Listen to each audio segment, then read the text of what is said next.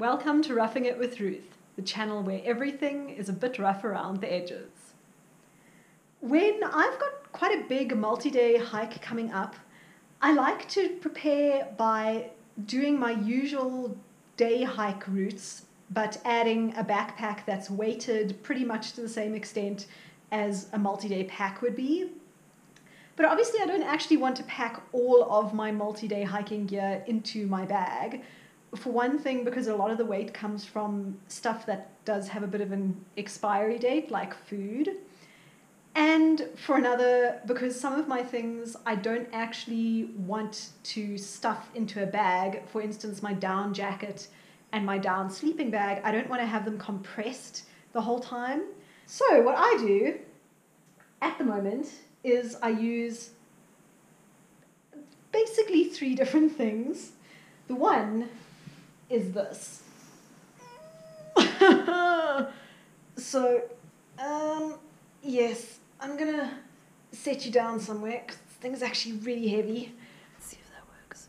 Okay, I hope you don't fall off there. It is a chainmail shirt, a chainmail t-shirt that my husband made. It's quite impressive looking, but it also weighs a ton. And you see, it doesn't take up that much space. So it's actually really useful to use this inside a backpack because it gives you quite a lot of uh, weight without a lot of volume. The other thing, if you're wanting something that weighs a lot and doesn't take up a lot of space, definitely water. Water is such a good idea. And water is great because then you have water with you. Then some stuff is stuff that I don't use at all in my day to day life, like if it's summer and I have a whole lot of winter jackets that I don't wear, then I can stuff those in, or like this really old sleeping bag from my childhood that's synthetic. It's fairly heavy. It feels like it weighs nothing after I picked up that chainmail t shirt. Here's the finished product. As you can see, it's really not bulky at all because I've got such heavy but compact items in here. I've got the sleeping bag at the bottom just to try and make a sort of platform so that the really heavy stuff is a little bit more centered in the bag instead of being way down here. If you pack all of your weight right at the bottom, the bag tends to have a lot of leverage on your shoulders, which isn't great. Um, the only thing is that this is my multi-day pack and it's only got three items in it the sleeping bag, the five liter water bottle, and the chainmail t shirt. The chainmail t shirt t-shirt is in the middle and the water bottle is above that.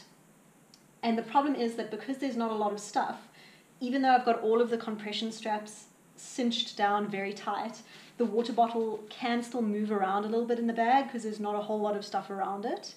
You can just add extra stuff, but this bag is pretty heavy at the moment already.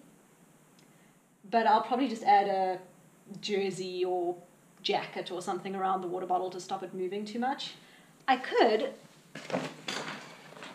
I could use this pack instead. This blue one is my day hiking pack. This is only a 28 liter pack. So I would definitely be able to fit the water bottle and chainmail shirt and sleeping bag in here. But I don't want to do that because the 50 plus 10 liter multi-day pack is the pack that I'm going to be wearing for a multi-day hike. And I prefer to use the pack that I'm going to be wearing instead of a smaller pack yeah, if you have some tips on how to weight a backpack for training that doesn't involve actually having to pack all of your hiking gear, then please leave them in the comments below. Thank you so much for watching this video. Don't forget to subscribe if you'd like to see more.